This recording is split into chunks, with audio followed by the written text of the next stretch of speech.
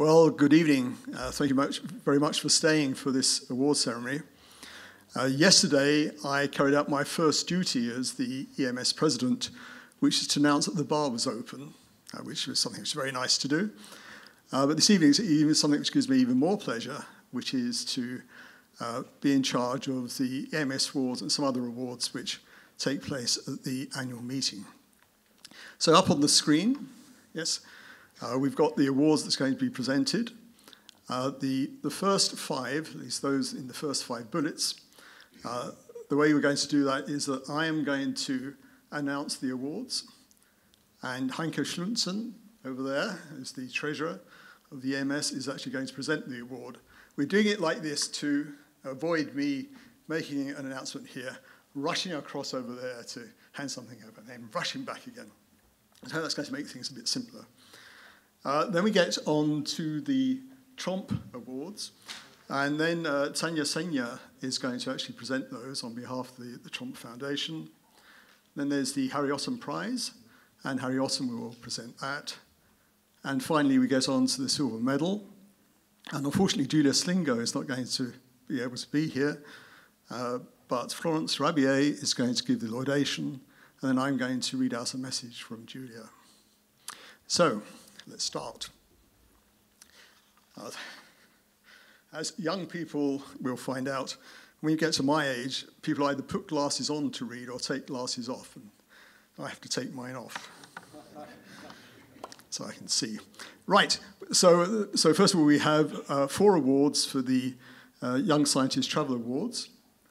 And the first one goes to John Ander Arrillaga from the Universidad Complutense de Madrid from Spain. And uh, his presentation is about mesoscale turbulence interactions in the ABL uh, dynamics, a 10-year study at Cabauw. And he's going to give his presentation on Thursday. So John Ander.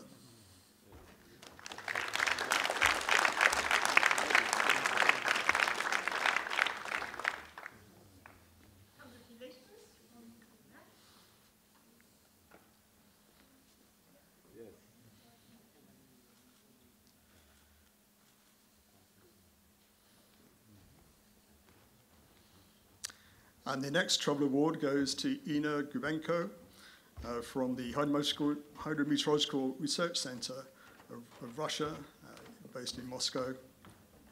And uh, she has a poster which is an explicit method of mesoscale convective storm prediction for central region of Russia.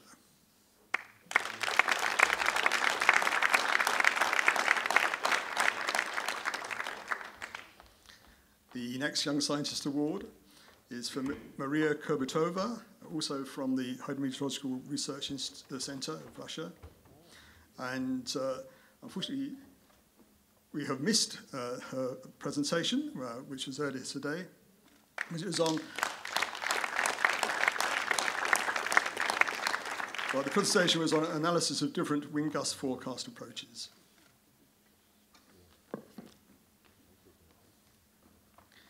And the final Young Scientist Travel Award goes to Marco Reale from the Abdus Salam International Center for Theoretical Physics, in Trieste. And he has a poster on a climatology of explosive cyclones using a multi-tracking approach. And his poster is going to be available tomorrow.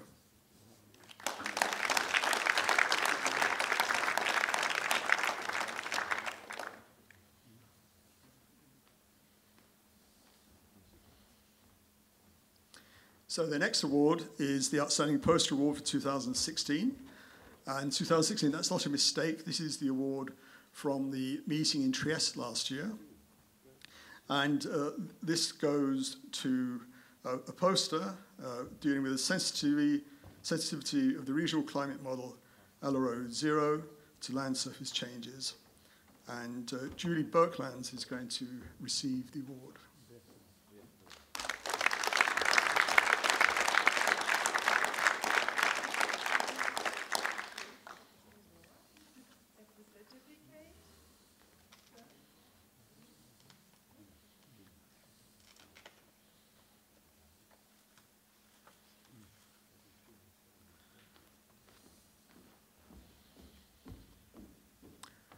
Right, the EMS Young Scientist Awards goes to Juha Aalto from the University of Helsinki and the Finnish Meteorological Institute.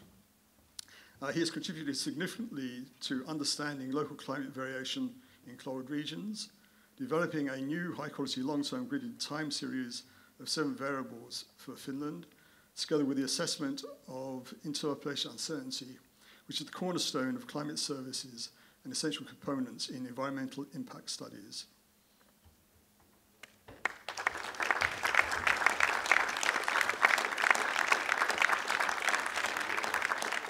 And you can see his presentation on Friday.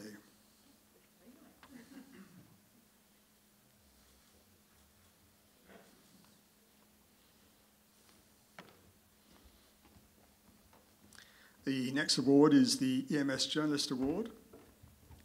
And this goes to Astrid Rommetveit from Norway for a very important work in helping to bridge the gap in understanding between experts and non-experts covering complex topics and presenting them in an understandable and accessible way. Without oversimplifying them, she gives the reader the full capacity to understand a complex topic. So Astrid.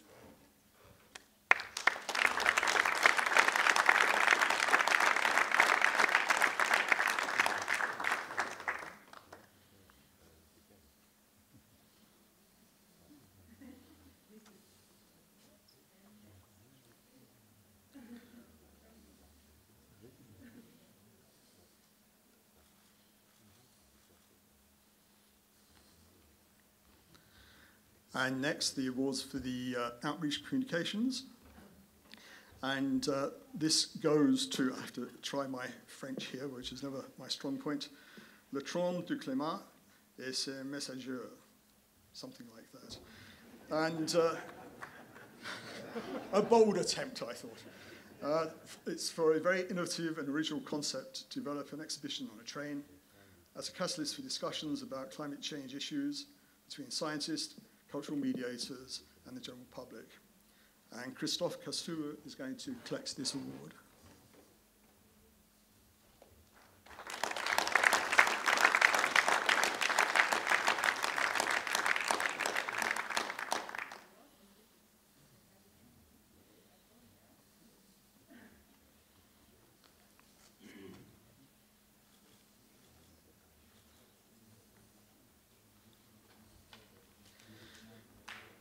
Now we have the TV Weather Forecast Award, and this goes to Helga van Leur uh, from RTL in the Netherlands. Helga combines uh, weather and climate in her presentation in a way that makes it relevant and interesting to viewers.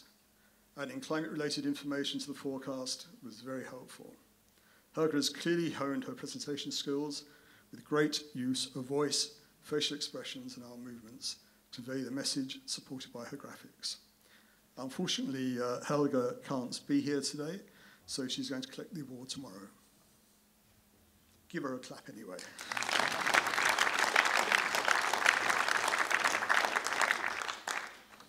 And then the final award in this sequence is the Outstanding Contribution Award.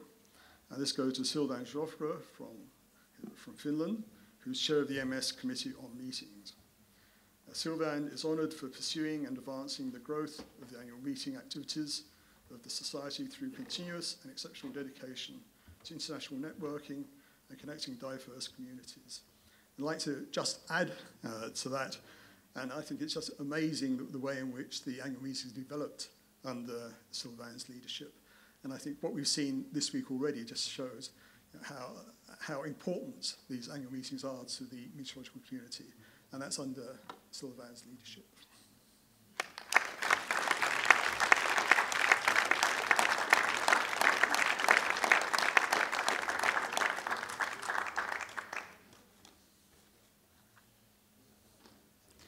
And Sylvain would like to say a few words, I believe. Does that mean that I've been forgiven for all the trouble I created with the restructure? Now, well, if I put some energy in, uh, into the EMS uh, conference development, uh, I think it was easy because I think it's a right forum, you know, for bringing all the components of our community and also to to en enhance all the, the benefits we can bring to, to, to society. Uh, well, I've been doing this job, but I, was not alone, so I want to thank also uh, my colleagues from COM, from the PSC, all the conveners, and especially Martina Junge. So thanks again. And remember, come back to Budapest next year.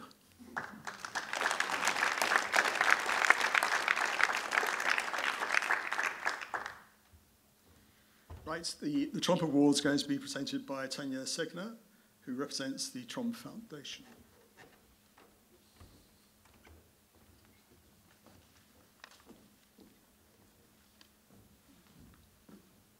Thank you, Mr. President. I have the honor to represent the Tromp Foundation this year.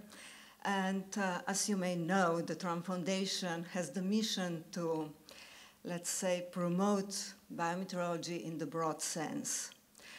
The chairman of the Tromp Foundation this year is not able to be here, Mr. Wop Rietveld. So he delegates this pleasure to hand over the awards to me. And the first EMS Tromp Award is this year is assigned to Stephanie Horion and for her paper revealing turning points in ecosystem functioning over the northern Eurasian agricultural frontier. It was published last year in Global Change Biology.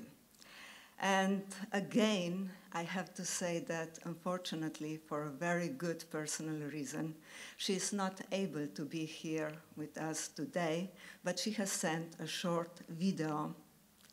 The committee that have been selecting our paper, um, we are very glad, as I said, um, that uh, this paper was appreciated, uh, and uh, thanks again. Hi. Hi everybody, my name is Stéphanie Horion. I'm uh, an assistant professor at Copenhagen University and I'm the first author of the paper that has been selected for the Tromp, uh, the EMS Tromp Award this year. Unfortunately, I could not travel to the EMS meeting because I just uh, gave birth recently. Uh, but I'm uh, very honored, and uh, my co-author also are very honored to have been selected for this award. A little bit about the paper. This uh, paper is about detecting abrupt changes in ecosystem functioning in Central Asia. And the very first idea uh, when we started to uh, work on this uh, research was to uh, use long-term um, trend analysis um, of Earth, observation data to see um, if we can disentangle climate and uh, anthropogenic drivers in change is in yeah that are driving the changes in ecosystem functioning. Um, so we, we actually went uh, beyond looking at linear trend analysis for this and we used um, the detected discontinuities in the in the time series to see if we can um, link them to changes in either land use or uh, climate, um, major drought events, and uh, different uh, type of drivers. Uh, there will be a lecture uh, on Friday morning about this uh, that I will be giving through Skype. So if you're interested, just feel free to come and I will be there to answer your question. and thanks again to the to the um, committee, uh, the member of the committee that have been selecting our paper. Um, we are very glad, as I said, um, that uh, this paper was appreciated, uh, and uh, thanks again. Hi. Okay, give Hi, her everybody. an applause. My name is Stefan Even if she is not here. But I hope that the other three people who are we supporting to attend this conference, the young scientists, will, are all, all three here. And the first one is Anastasia Bleta, and uh, she will present uh, her work, Cardiovascular Admissions Related to Particulate Matter in Heraklion, Crete Island, Greece. Is Anastasia here? Yeah.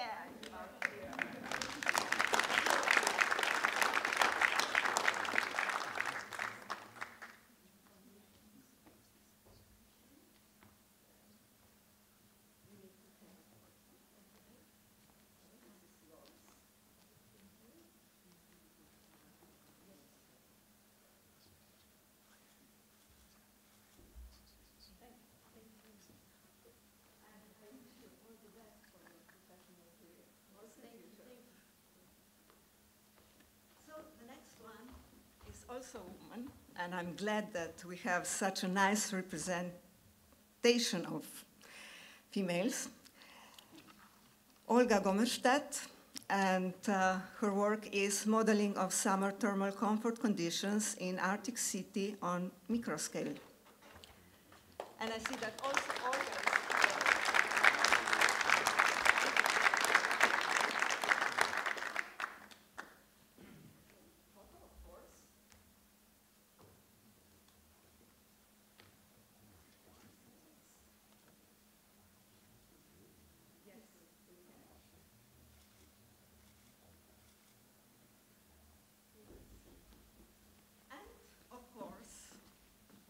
we need also to have a man to complement the whole group. It is Mikhail Varentsov, and his work is Investigation of Urban Cost Mesoscale Features of Moscow Megacity.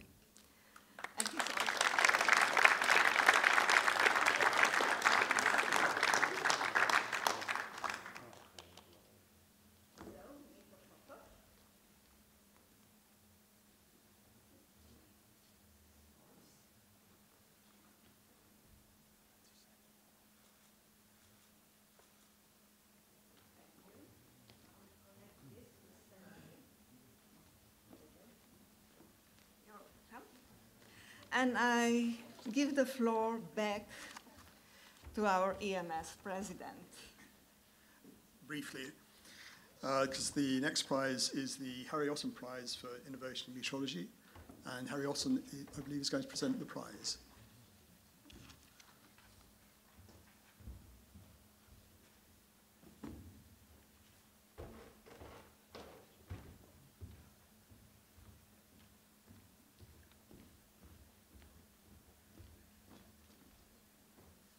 Mr. President, thank you very much. All prizes this afternoon were known, but this prize not. This uh, will be revealed now. So when I would be a quizmaster, I could say to the three finalists, divide the money or take your loss or make you win. um, I have just been given the check for the prize, so now I can reveal who it goes to unless there is action from the three finalists. But I don't think so. The check goes to Lee Chapman.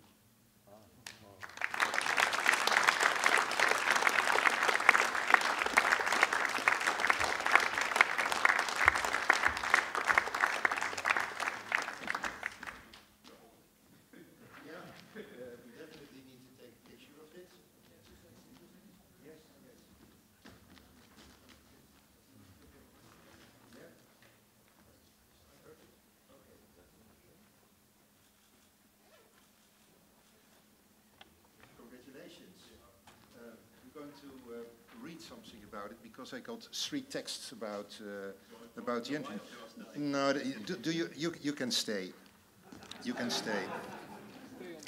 Uh, your idea was uh, high resolution monitoring of weather impacts on infrastructural networks, something that appeals to me uh, at least. It is to use the Internet of Things and low cost sensors to monitor the weather on a very dense network to improve the short range forecasting. Uh, you provided one example where low-cost sensors uh, connected to the internet could provide real-time information on the condition of roads in winter to inform efficient applications of salt on road surfaces and at the same time avoiding wasteful oversalting of roads. In a second example, you showed how other sensors could detect leaf wetness uh, on railways that often cause uh, trains with uh, problems uh, to, to stop down at the station and they get square wheels. Tom de Ruiter uh, and the other two finalists, uh, they, uh, they receive a reward as well. And what I understand from the jury, and I have got no influence whatsoever on the outcome of, of giving this prize, the other two finalists, they presented very good ideas as well. Tom de Ruiter, who sits over there, who is a computer scientist at Big Data Republic in the Netherlands, he presented an innovative idea making use of errors in consumer weather data to derive advanced weather parameters. and he proposed to use errors in ground surface measurements to derive information about meteorological conditions such as cloud cover and snow versus rain conditions. Geert-Jan Steeneveld and Sietse Koopmans from Wageningen, uh, Wageningen University, they are sitting over there, they discussed their idea, uh, crowd data assimilation, assimilation of crowdsourced meteorological data in uh, numerical weather prediction models to improve small-scale weather forecasts. The basis of this idea is to use crowdsourced data in high-resolution numerical weather forecast models to improve short-range forecasts. And uh, these three, the three, the winner and the two other finalists, uh, they were the making of the contest in which 12, uh, 12 persons or entities participated. And the board of the foundation calls for many more applicants uh, in the future. 25,000 euros is really worthwhile to do some work for, and it would be even greater when your IDs would be used as well. So the board will call for more IDs. And with this, I also want to make a great thank you to the board and especially Rick Anthes. Maybe you can come forward a short moment.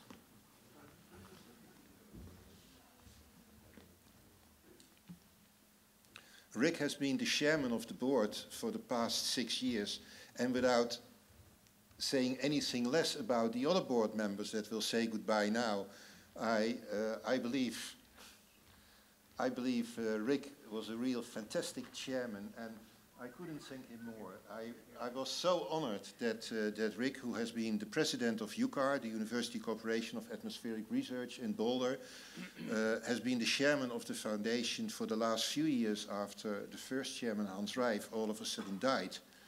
And never something was too much for Rick. Uh, he would get up, he would be in the office still at five in the morning, and you could always reach him. Uh, when we got up in Europe, uh, he already was on his desk, kind of, even despite eight hours difference. Uh, but uh, you and with Dominique Marbouty and with Dennis Schultz, who also say goodbye to the board today, you did a fantastic job in accumulating all the ideas, uh, making judgments about it, uh, uh, getting the three finalists to come here, listening to their stories, and then make the good judgment. So my, thing, my things are very great, and I'm very proud that, that I could get you and Dominique Marbouty and Dennis Schultz on the board uh, to really get the foundation going. And uh, I would have wished I could change the statutes, that you stay a bit longer, but that is not possible. But uh, we, uh, we are going to celebrate that tonight, and uh, many, many thanks, and also many thanks to Dominique and to Dennis.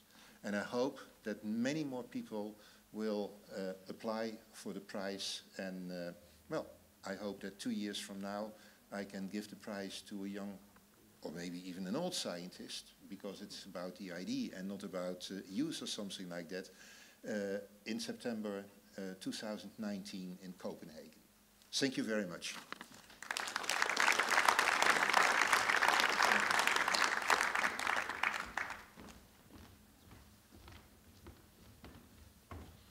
And now we come to the, the final award, which is the EMS Silver Medal.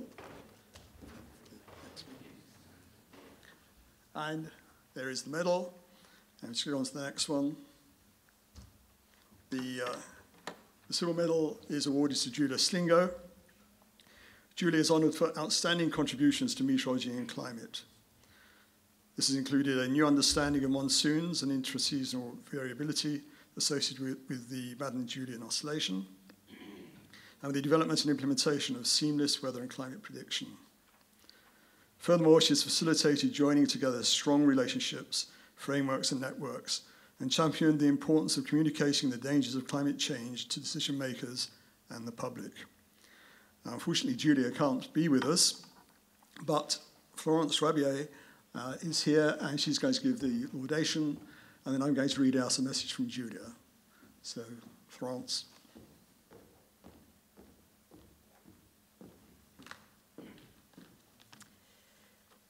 So it will be my pleasure to remind the audience why today the EMS is giving this prestigious silver medal to Julia Slingo. So Professor Dame Julia Slingo has made an outstanding contribution to metrology on an international scale And throughout her career, she's brought innovative approaches to understanding and modeling weather and climate.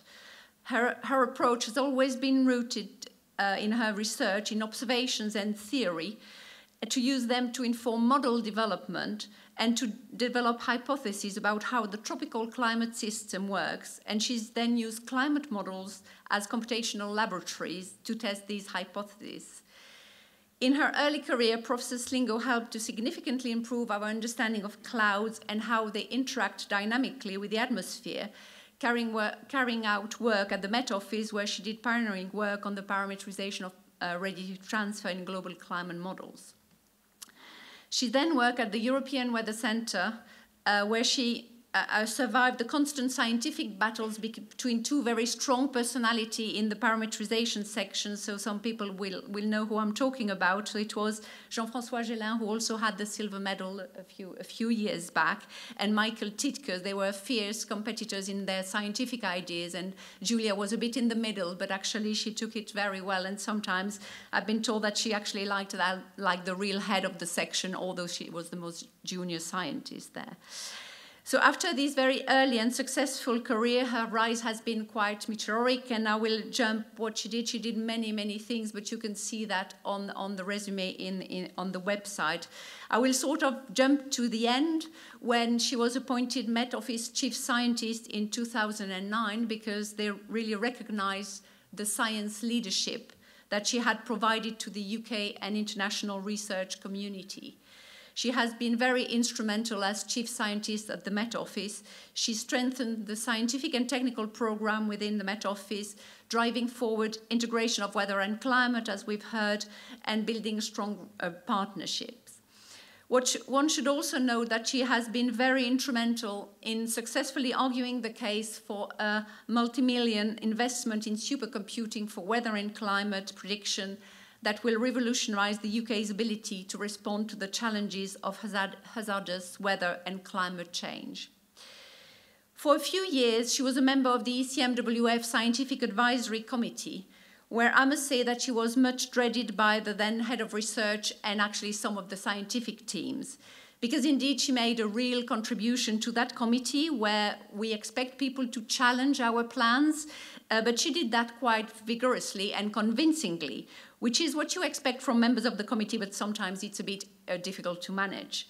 And she's been a strong advocate in that role of the seamless approach and the weather and climate approach, with actually using, using this unified modeling framework for all time scale is also a direction we are going to in, in uh, at ECMWF. And of course, she's been pushing that as well uh, at the Met Office, of, of course, at the time. Uh, her uh, her range has been much broader than, than just, of course, the UK, as we said. And I think it was really an uh, honor when in 2015 she was appointed as one of the seven members of the high level group of the new European Commission Scientific Advice Mechanism Group. So um, she received, now I will say a, a, few things about her awards, which, of which one of, of these, this one is actually one of them. But uh, she received the Royal Meteorological Society's Buchan Prize in 1998. In 2016, she was awarded the IMO Prize of the World Meteorological Organization. She was awarded an OBE in, 20, in 2008. And in that year, she also became the first female president of the Royal Met Society. In 2014, she was awarded her damehood for services to weather and climate science and she was named as one of the top 100 scientists in the UK by the UK Science Council. In 2015, she was elected a Fellow of the Royal Society, and 2016, she became a foreign member of the US National Academy for Engineering. So I don't know if in her wall she has space for all these awards and all these titles, but as you can see, this is really a full library. She needs to put, to put all that. And this really shows how influential her career has been. She retired in December 2016 after this long and distinguished career. Since her retirement, she's continued to be active and, in particular, as special advisor on climate for the Secretary General of the WMO. So I will conclude by saying that Julia indeed made a remarkable contribution to the field of meteorology. She's a truly shining role model for all of us in meteorology, and in particular, an inspiration for the young female scientists starting in the field. Her legacy will be long lasting, and this silver medal could not have found a better recipient today. Thank you.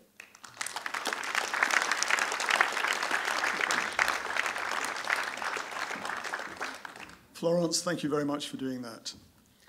Uh, now I have a, a message from Julia, which I will read out.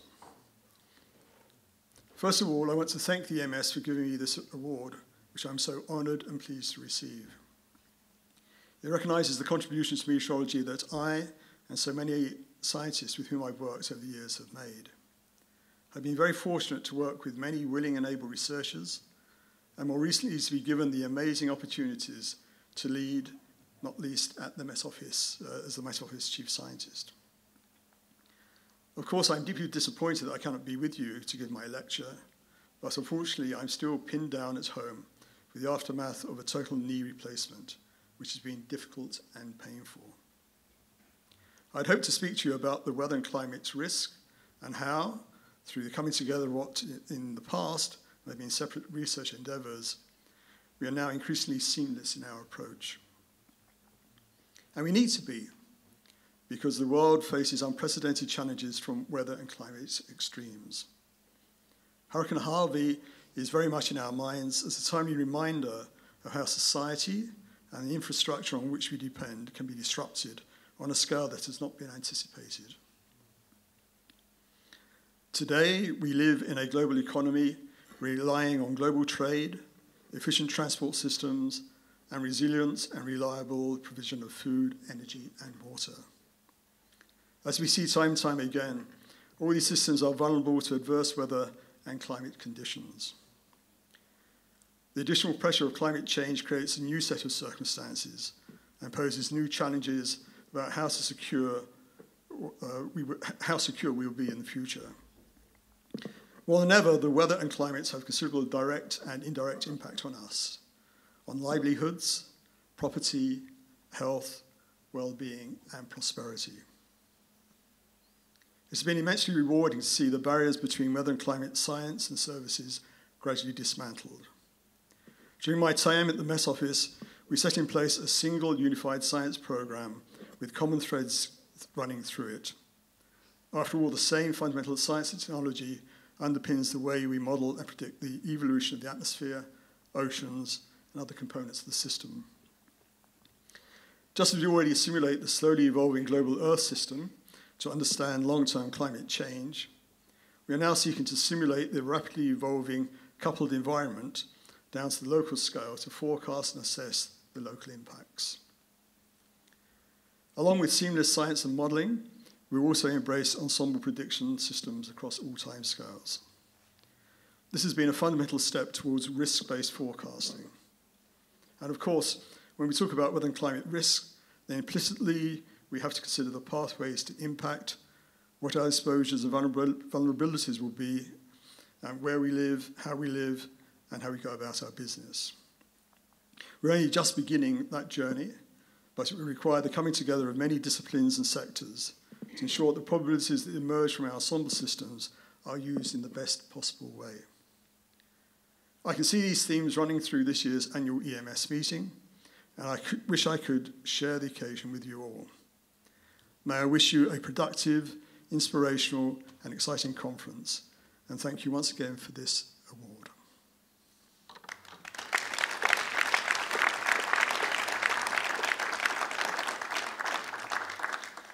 So, as I said earlier, uh, unfortunately, Julia couldn't be here, but we hope that she will be able to go to Budapest next year uh, when we have the annual meeting, and that she'll be able to uh, present the, the silver medal lecture on that occasion. So that's the end of the award ceremony. Just like to urge you to, to look out for the announcements of the awards for the next round of awards. I think the, uh, all the members, the member societies, associate members, of the EMS are informed about the awards, and also it's on the website. And we urge you to put forward your nominations.